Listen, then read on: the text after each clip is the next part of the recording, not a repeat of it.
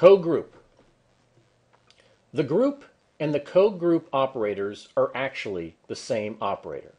But by convention, the co-group operator is used when grouping multiple relations at the same time. 127 relations can be grouped at the same time. Co-group example.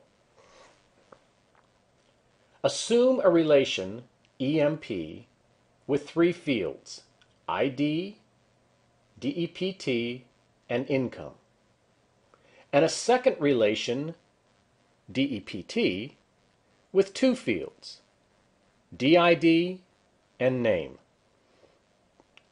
I am only going to refer to a subset of the data in the example on the visual.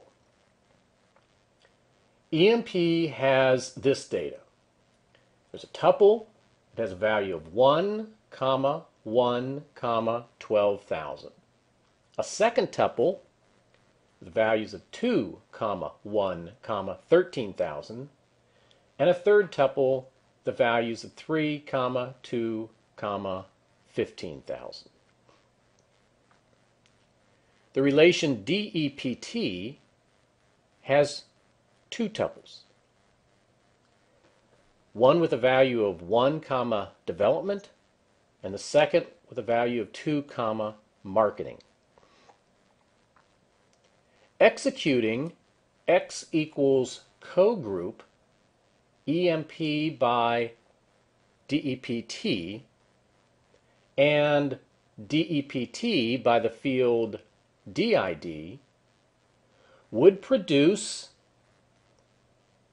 a tuple with a value of 1 and then a bag within there that has the tuple 1 comma 1 comma 12,000 a second tuple with values of 2 comma 1 comma 13,000 and a tuple with the values of 1 comma development. The second tuple would have a value of 2, comma, and then a bag, which contains two tuples. One with a value of 3, comma, 2, comma, 15,000, and the second with a value of 2, comma, marketing. For each. The for each operator allows you to create a new relation through projection. This new relation may have fewer fields or more fields than the original relation. There are two formats for this operator, one that works with a block and one that works with a nested block. Please continue with the next portion of Lesson 2.